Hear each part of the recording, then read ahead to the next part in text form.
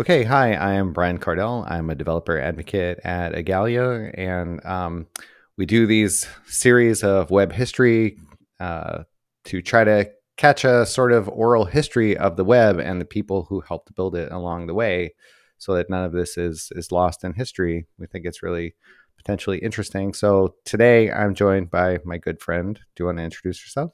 Hi, Brian. Thank you. My name is Coralie Mercier, and we've known each other for about 10 years, I think.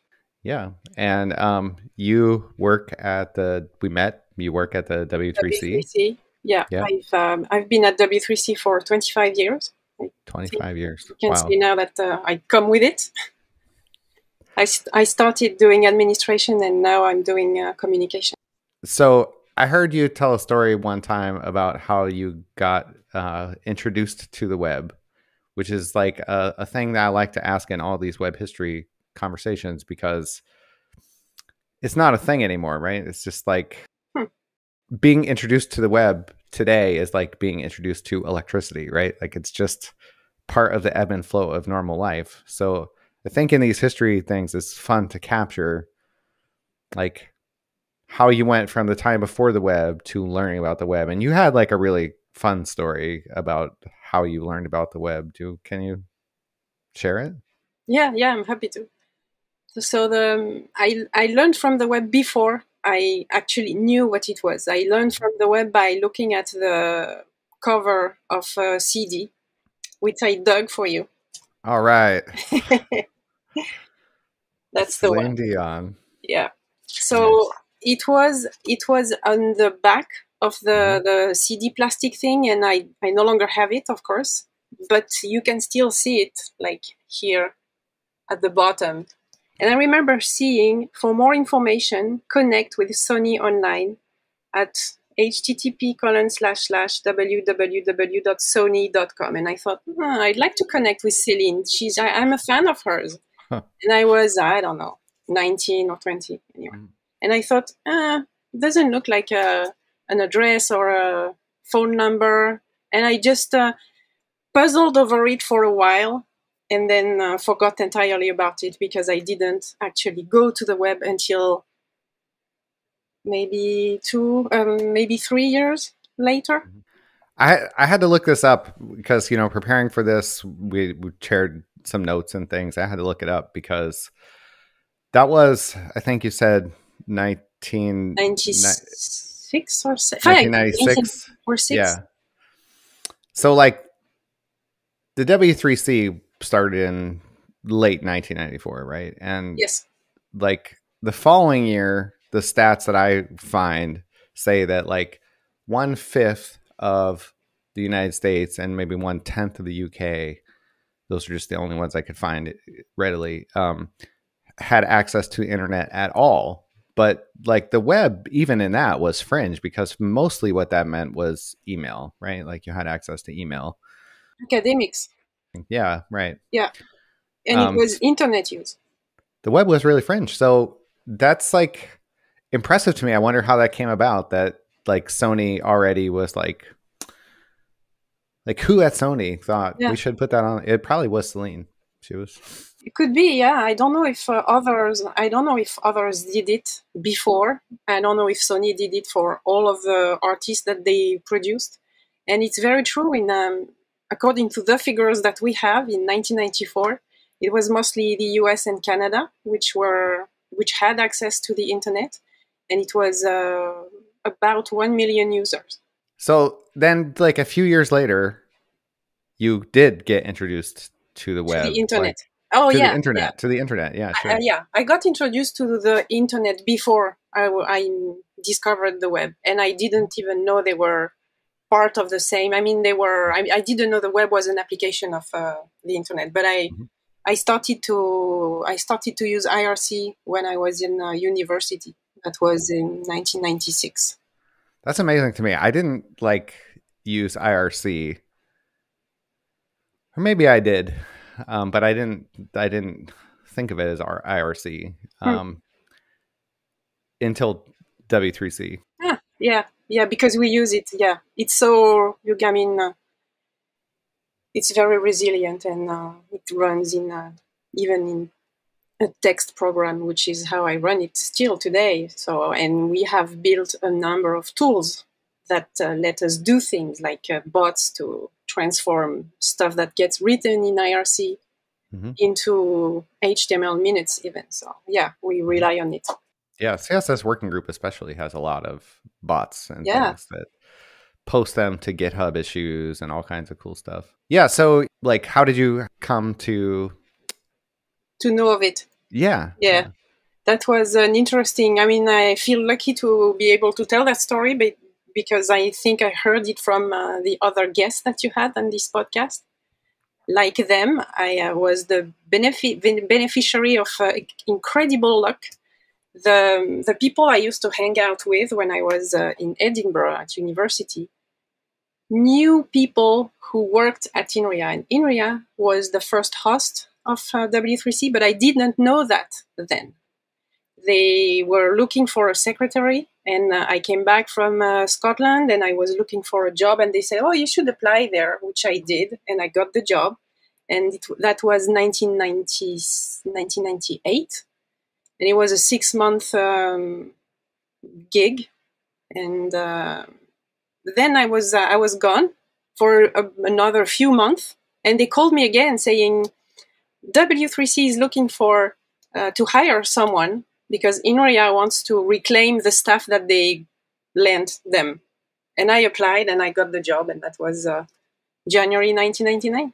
Well, when you were there, you were exposed to like a lot more tech nerdy stuff, right? Oh yeah. And I, I came from a pretty nerdy family already. Like my dad, my my dad got got us um, a Commodore 64 when my my my twin brother and I were kids. So we used to play pinball on it and stuff. But my dad used to do serious stuff. Like he would uh, he would use the computer, and then we had other computers. But he would use the computer and program in Visual basic or something else because he was a doctor and uh, he had to fill a number of forms and he had decided that it was going to be easier to have the form in the computer so that he would just need to type something once and then recall that information. So every patient he was following had uh, a file and then he had um, made it so that all of the form, form forms for social security could be printed on a, on a dot matrix printer and he created that uh, that program. So i came from a nerdy family but the level of nerdiness that i encountered while at inria was uh, i mean it was uh, nothing like uh, i mean i was not prepared for it of course. I think i told you the story of the 1998 world cup um, soccer championship which yeah i was hoping you would tell that story. Yeah. So uh, um, I was uh, the the workstation I was using then was a Sun SPARC uh, uh, station, and it was equipped with a bunch of um, Unix programs. So I got to familiar with that environment, which I knew nothing about. But a lot. Well, my point is that a lot of things were done through the terminal, including watching the soccer World Championship in ASCII. That's amazing. I don't know how they did it, but uh, you visited some, I think it was some, I don't know if it was FTP or something else, but it was from the, from the terminal. And what you saw, you had to go a little further back from the computer in order to be able to imagine that this was TV, but it was ASCII being morphing in front of yourself. I don't remember whether I, I don't remember what we did for sound. I, I have the impression that we had to maybe listen to the radio. I don't think it came from the terminal. Anyway, I thought that was crazy, and I told my dad when I came back, we did this at work today, and it was like a, a recess, school recess. Right. Did you learn a lot uh, working in that environment? Yeah, yeah, yeah. Uh, yeah, because uh, I was uh, I was quite young, and everything that I had learned at school did not was not useful to me then. So I had to learn new things and uh, working with a scientific team in, involved doing a number of things, including um, producing reports. So I learned LaTeX before I knew what uh, HTML was.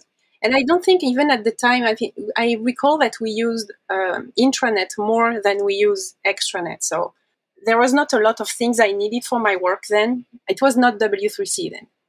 There was not a lot that I needed to be on the web for. Intranet was sufficient.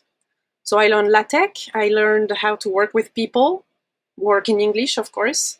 So then in 99, you went to W3C. Yeah. And I also, you know, just to keep the perspective, I looked up the same statistics that we are just talking about. And it seems like at that point already about 26% of the US had internet at home and about 15% in Europe. 2% in China I was able to find. But like also that's the year that Napster came out. Do you remember? Mm, yes, remember I do. Yeah. Yeah. That, yeah Napster was wild. It was fun. And probably all of us got way too many songs that yeah, yeah. I had the best I, music library those couple of years. Some of what we did with Napster was still stuff that we're in a weird way on the web trying to catch up to because like you know, it was like peer sharing, you know? Yeah. Um, and it was like Yeah, yeah. And so like uh you could create and share from like from your device and and that was like something that like even tim's original browser was like part of the vision like you could edit with a kind of WYSIWYG in the browser yes. and yeah. I think that that translated over into w3c project at first too right? Wasn't there a amaya? Yeah amaya. yeah. Amaya was uh, yeah amaya is uh, was. Maybe some people continue to to use it um, we've decommissioned it because we stopped maintaining it since uh, HTML5. Amaya does not support HTML5, so we we made it open source and uh, this well we'll put the source available so in case people want to port it. But uh, Amaya was uh, the first and possibly the only WYSIWYG editor. Like you could edit while you were browse- browsing, pretty much like uh, even better than a wiki because in a wiki you have to go through the edit interface. So it was uh, different. But yes, Amaya, Amaya was a great browser, and I used it many many years. And I think I stopped using it and moved to Emacs just when we stopped maintaining it. I guess. Yeah, I think also like I guess sites have gotten more complicated because they involve like JavaScript and CSS yeah. as well.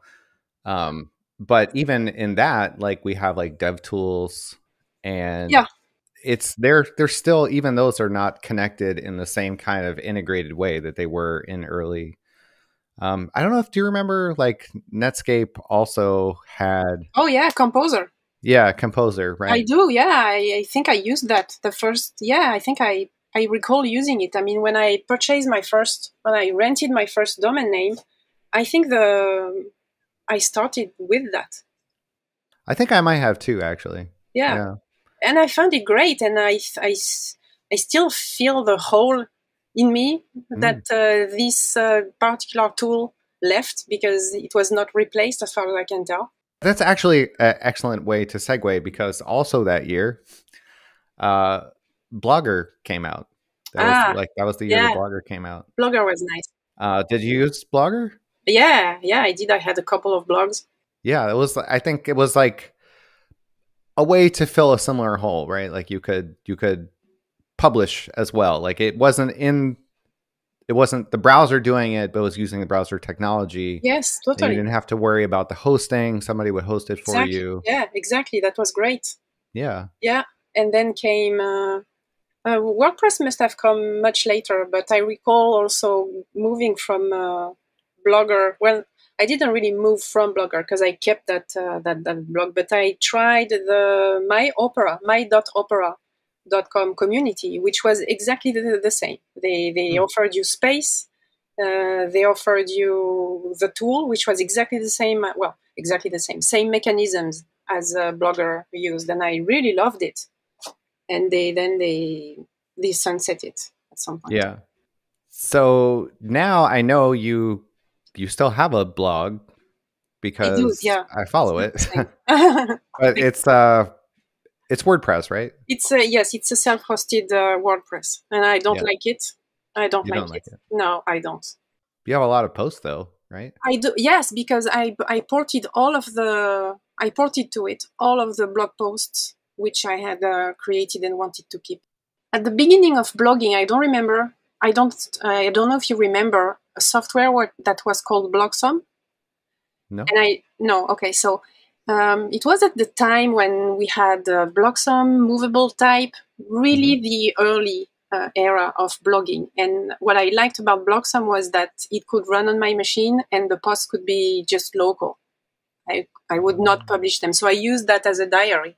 But some mm. of the posts I liked and I so I, I got those. I got the um, my opera posts some of the some of the posts which were on um, WordPress, and I moved everything together. So that that that blog published in uh, I don't know 2005 maybe, mm-hmm. and I have about 500 posts. I try to post maybe once a month now. I used to post post a lot more. So now we have like ActivityPub. Yeah. And um, some ideas, including one that you know was uh, kind of created, championed by uh, Tim Berners Lee. Uh, you know, all, a lot of similar ideas in W3C that hopefully will, you know, get uh, some agreement on and and but ways to like own your you know these are ways to like own your data uh, more and uh, work in like activity pub you know working in owning your social media presence and everything as well right? Like yeah i think it will be interesting to see what happens there because i do think that um you know some of those early ideas about like you being a a publisher as well as a subscriber you know and then you owning that and not being like just what was on your twitter or what was on your blogger or you know whatever um, is really valuable. Yeah, um, yeah. It's as though you remember the web dot something trends, mm-hmm. web dot web dot two or 2 mm-hmm. two. I don't remember because which we try. I try not to use them because they are kind of meaning. Well, I find them meaningless because they have meaning different meaning for mm-hmm. different people. So one of the one of that era was uh, putting stuff on the web and then it became something more complex. And i think we are at the I, I hope that we are at the tail end of the complexity because you mentioned before how web editing became complex. And i remember when we used to look at the source code of a website in order to make your own website. And mm-hmm. the, the the the homepage i have on the w3c website today for maybe my team page. I, I built exactly like that. I looked mm-hmm. at uh, somebody's uh, CSS and uh, I tried to understand how it worked and, and, and do it. So, and, and then all of a sudden we could no longer do that. It became, mm-hmm. or I could no longer do that. It became too complex. So I think we're, I hope we are at the tail end of uh, that era where we can go back to a more manageable mechanisms and ways. So you you probably followed that uh, Tim's uh, what is it? A startup. He created a startup called In- Inrupt, and he wanted to work on a concept which he calls solid. So he he wanted that to have some kind of standing and use the the process which he developed for the consortium that he founded so after a year or two of uh, trying to make this fit in a way that uh, the the broadest set of stakeholders can look at it, I think we eventually got there with the creation of a working group, which is not called Solid for obvious reasons, but it's called a linked web storage uh, working group, and uh, that is just getting started now. Like uh, we started it last week or something yeah, there is this. Yeah, it'll be super super interesting to see what happens there. Yeah. Um, so you've been at W3C now since 1999. What was like the first big thing that you did at W3C? Like, what was do you remember your first TPAC? Yes, I Yeah. remember my first TPAC. It was in 2000, and I helped arrange it. Back then, I was uh, part of the administrative team, and uh, organizing meetings was a strength of mine. And I, I got to partner with uh, colleagues in the United States. We worked using wikis in order to do more efficient work. So um, I remember my first TPAC, and I also remember the second because I organized it completely solo. It was in 2001, the first of a long series of uh, TPAC meetings, technical plenary and advisory committee meetings that would be held in Mandelieu, which is in the southeast of France, in a huge hotel by the beach. So that was really nice. Yeah, I remember it. Yeah. That's really nice. I've I've never been to one there, so looking forward Oh. to that one. I thought you had uh, at least seen seen it. We stopped in uh, I think 2008, Yeah. Yeah. I think my, my first TPAC was 20, 2012. 2012. Yeah. Yeah, I think so. Yeah, so you yeah you could not have uh, seen it. Yeah. So you started your website in the about the same time, right? Um, yeah, I think so, 2002 or something. But it was not. I mean, my website is not a big deal. I just wanted it to learn. Basically, I I wanted to learn, and it's more to have fun with it and uh, be able to share links to photos with my family Mm-hmm. than anything else. So I think the first big thing I did at W3C was to put W3C on social media. Really, I mean, I did a bunch of things, and I, yeah, I, I kickstarted a number of things at W3C and a number of processes and how. So it's really background work, like uh, the way we do work. I did a lot of that to streamline processes or create new Mhm. processes, that's something that uh, nobody sees. It's just background stuff. But uh, putting W3C on social media and getting Tim Berners-Lee an account on Twitter is visible. So I was the one suggesting this and doing this. I think I still have his uh, password. Oh, really? yeah, I don't think he changed it because uh, I tried once. He's not on there so much anymore. Yeah, Um, Yeah. I think W3C has left Twitter as well now, right? we have yes uh, in December last year. hmm Yeah. and uh, we've uh, yeah we, we ch- we chose to be just on Mastodon, and we are hosting our own instance and on LinkedIn because Sure. it's the place to be. Right. But we we started on uh, we started on uh, social media in 2010, possibly even earlier, because when Identica was released, I think it was before 2010. It could have been as early as 2008 or 9 something so we were on identica which is the grandparent of uh, mastodon Oh, really? I didn't know. yeah that. oh yeah Yeah. totally evan prodromou who launched That's right. That's right. identica was also had a say in uh, activity pub so it's been a long love story That that's right. Yeah, I do remember that actually. Um, so since 1999, at least you know from the outside, it seems to me that like a lot has changed in the world and a lot has changed Yes. in the W3C. Yeah. Like, can you tell me like what are some? Yeah, I mean, tell me some ways that you think that the W3C has evolved. Like, what what's some interesting history that you've seen in sort of the evolution of W3C? I think the if I if I had to say one thing, I would say that I witnessed, we witnessed the the whole tech ecosystem going from followers who were following W3C staff, Mhm. which were the experts, and then there was a shift when everybody caught up, and now the experts are everywhere so the dynamic had to shift at some point Hmm. it was uh, i think it was rather organic but uh, i remember that shift and there was a bit of unsettled we were unsettled at some point not, not realizing i mean it, all of a sudden it be, all of a sudden it became clear like we are no longer the experts so there was this shift, and I don't exactly remember when that was. Probably between 2005 and 2010, probably mm-hmm. closer to 2010. So there was that.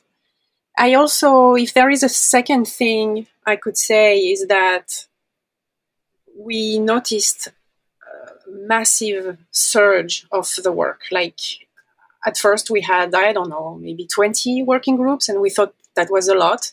And today we have more like uh, 50 and 10 interest groups. Mm-hmm. And we think it's a lot. Maybe there is a time in the future when uh, our staff increases and as well uh, as our capacity to, to, to spawn new groups increases as well. So there was this uh, constant increase in the number of groups that we create. And we don't create groups for the sake of uh, creating groups. We create groups because there is uh, some matter for a specific group to look at. So they may be bundled in one uh, our, specific area doing pretty much the same thing, but they are all uh, different. And then there are other areas which have nothing to do with uh, one another. So yeah, we noticed as well that uh, uh, that surge, and it's because the web has become more powerful and is becoming still more powerful with the amount of things you can do with it. Yeah. I think the creation of community groups and interest groups itself was a shift from yes. before that, right? Because before yeah. that, there was only working groups, and you like tall order to start up a working group, or taller order because you do have to have, um, I guess, more consensus, more agreement that that's a thing that we're going to do. And bandwidth. More buy in. yeah. And opportunity as well, because mm-hmm. the yeah, I think that uh, you're right. That community groups, which we launched in 2012, I think, or 11, offered people an opportunity to gather and rally around new ideas and incubation. Whereas before, there there were fewer opportunities, and uh, or it was like fringe, fringe uh, innovation and mm-hmm. niche, pro- probably as well. So community groups were a way for new ideas to be socialized and uh, incubated, and a number of uh, working groups since then have been uh, spun out of community groups mm-hmm. and specs uh, packaged by community groups for working groups. So that's very interesting. Another thing that I think probably a lot of people don't know that maybe we can talk about. It shocked me that like there was no like you had to be a legal entity to join the W3C. Ah, but yeah. the W3C itself was not a legal entity. It was this like loose affiliation of yeah um you know academia basically uh, yeah. hosts. But now that's another change that's happened, right? Like in the past couple of years, W3C has become a legal entity. Yes. So you I think you're tackling two related but different things. The okay. You have to remember that the consortium was created in 1994. It was mm-hmm. created. Mm-hmm. Uh, it was spurred by Tim Berners Lee himself. He mm-hmm. re- started to realize that there was a need to get the the key players together so that the the the output of their work to the for the not the infrastructure of the web but how the infrastructure of the web is used could be coordinated mm-hmm. and that was that the model that they used was uh, based on the x consortium so it was uh, it was a member consortium so you mm-hmm. had to be an organization yourself so I don't know whether you're talking so much about uh, this aspect, which uh, mandates that in order to become a member mm. of the World Wide Web Consortium, you have to be uh, an organization, but it's not actually true. What we are lacking is a fee for individuals. So mm. any individual is welcome to join, and we've had one, maybe two one. in the past one individual who joined uh, as an individual turned out they had to pay as a small company because we have not priced it because we work the the, the level at which we, we, we operate is more to the level of or big organizations who create products that are used on the web than at the individual levels. But you and I both know that there is uh, improvements which could uh, be made and that the voice of individuals could be heard. And you and I did try with a number of others to create something which at the time we called Webizen, mm-hmm. which would allow for a reasonable fee individuals to actually have a voice. Because at W3C, we have been welcoming participation from everyone and we've done the work in the open and we have i mean our process mandates us to take in the input from the public which happens at any time on the recommendation track but at particular times which we call review times. So we do that but we can overrule that um, that feedback. Whereas when um, member um, weigh in, they weigh in with the power of their right, uh, which is we call reviews also, which is confusing, but their review has uh, some power. Mm-hmm. You said W3C changed and became its own legal entity. It's true that for 28 years we were the partnership of four academic institutions. Um, started at MIT and then INRIA became the second host for Europe, and then Keio in Tokyo became the Asian host. And in 2000, so that was in, uh, uh, I don't remember the date but um, maybe 1998 for INRIA, or no, 1996 or something.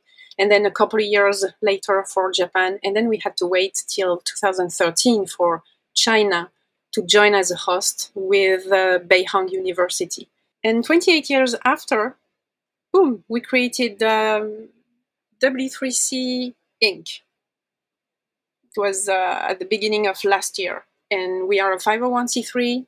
I think that's really exciting. I yeah. think that part is really exciting because it goes to this like, you know, we're still figuring out how how to how to do all this, Yeah. you know. And I think um one of the things that we realize, you know, 30 years in is that like we probably could use some more ways to fund this work, you know, yeah. and yeah.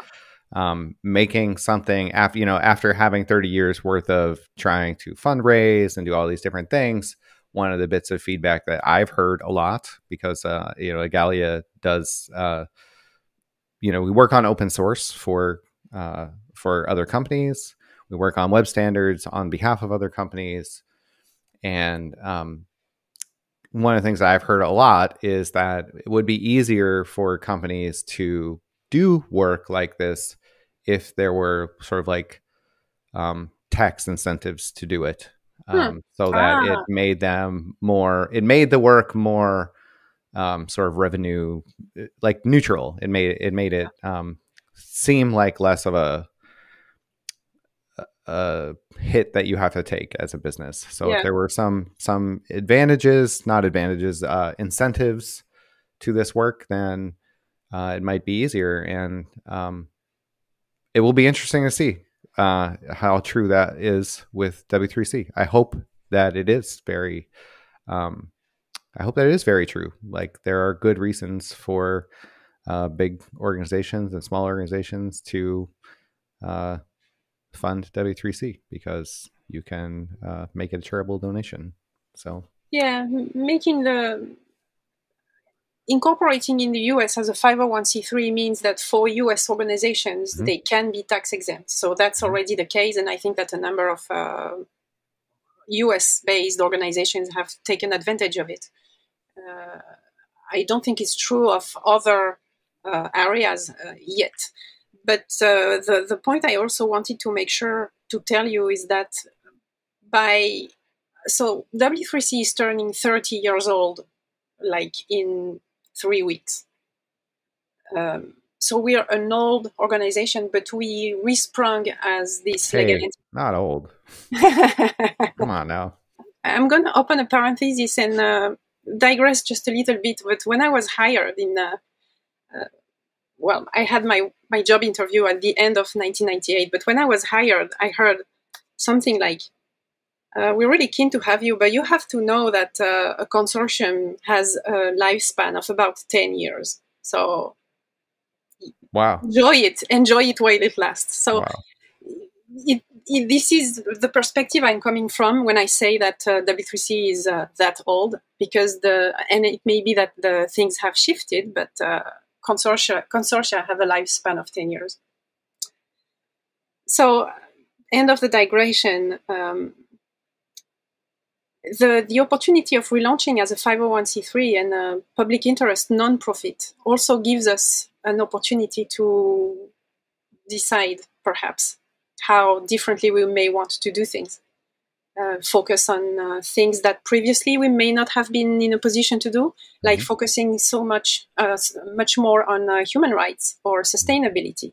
I don't think that, and we've tried some, uh, not that, but we've tried in the past to um, convince our members to follow us in a particular path, and that has not worked. And maybe this time, because we are kind of respringing, we can, uh, I mean, we can write our own story for the next 30 years.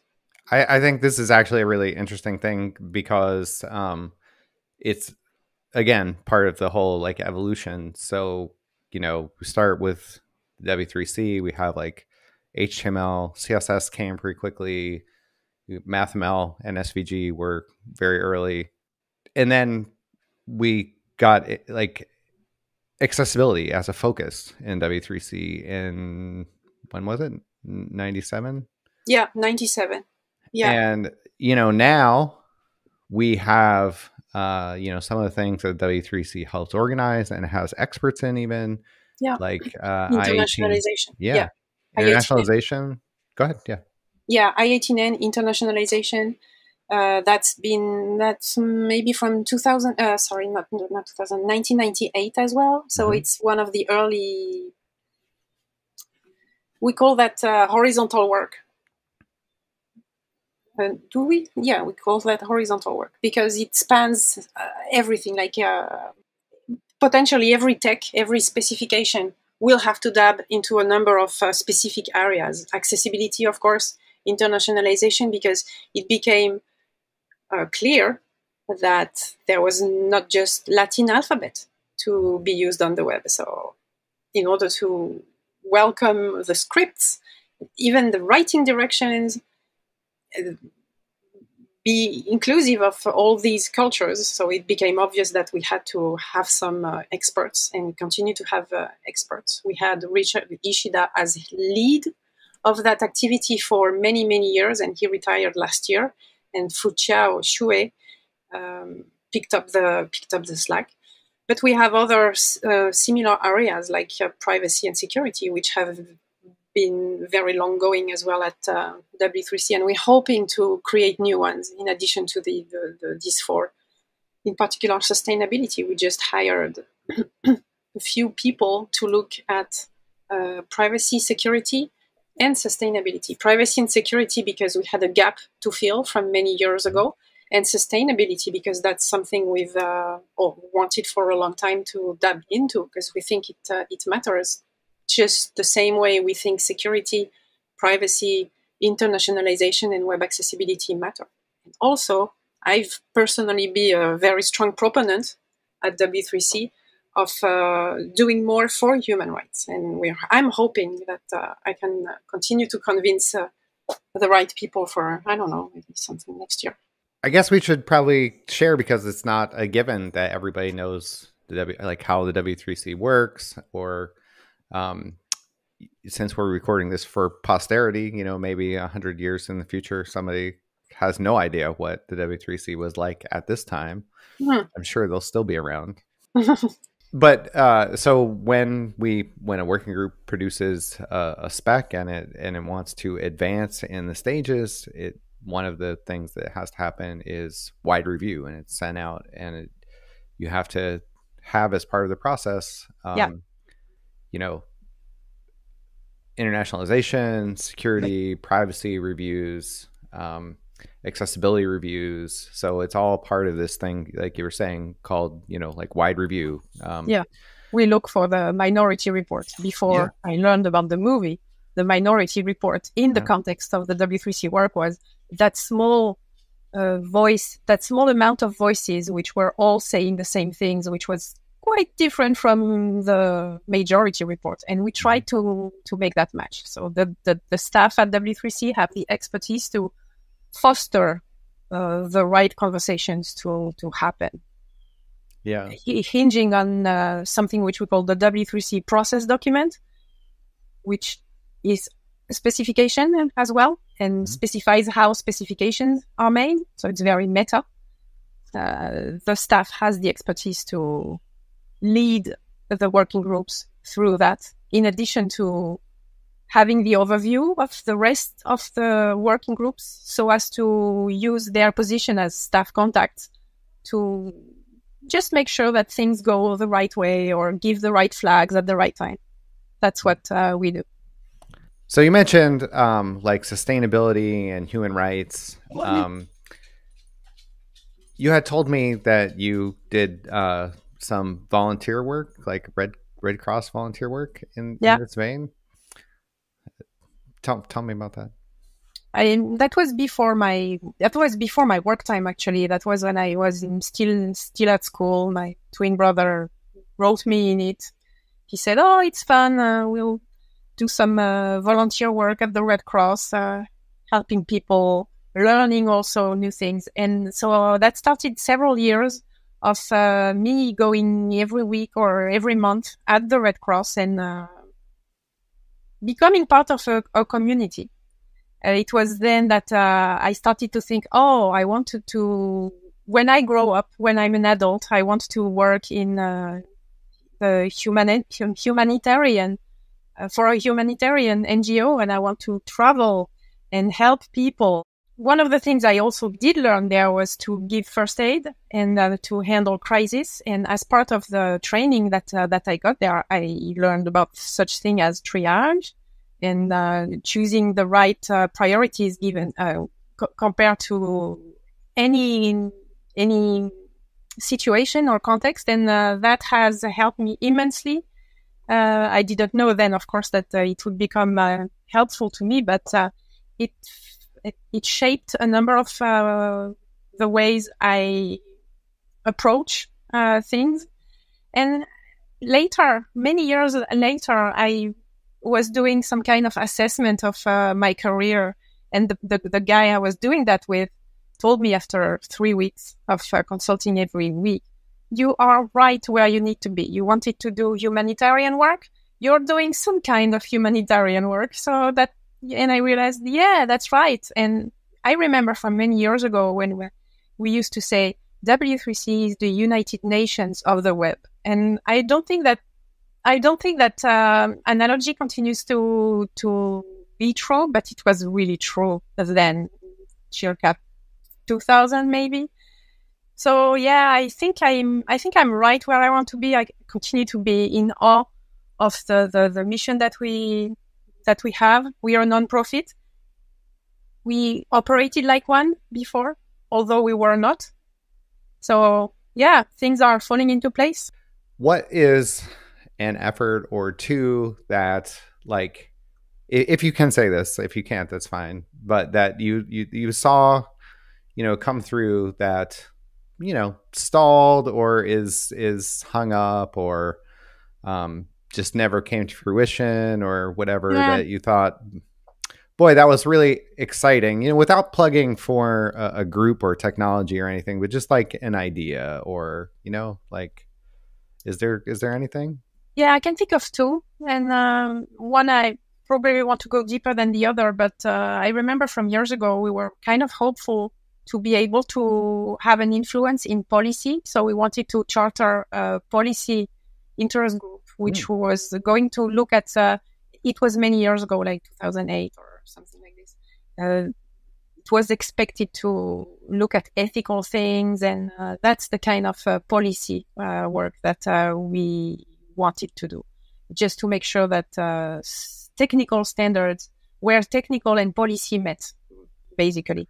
That's really interesting. Could be that uh, this chapter, which uh, was never published, may uh, see the light of day. I, I don't know, or maybe we do this differently. But um, at the technical level and feature levels, one thing which um, I've been keen uh, about is uh, monetization on uh, off and on the web for the web ecosystem in, on the one hand, but also for the individuals using it or living uh, of it. So yeah, I remember micropayments, the efforts in micropayments and micro donations. Yes, that's uh, that's something that I continue to be interested in. So, if anybody has read my recent blog, you know that preparation for this uh, for this is uh, where that uh, came from because uh, Coralie sent me a, a, a hole to fall down, and I just fell and just kept falling, and then uh, eventually she sent me a text that said, uh, "You're buried far down in the hole. Maybe I would like a rope instead of another link instead of mornings." yeah, you were you were very surprised that micropayments was a work area at W3C even before I joined mm. in 1998. Yeah, in 1997. Yeah. So thanks so much. I, I hope that this is like interesting to other people. Um, if not, you know, I anytime I get to chat with you, uh, have a great time. Me too. I'll see you next week, I guess. Yeah, I'm looking forward to seeing you. Thank you for having me, Brian. Thank you for coming on.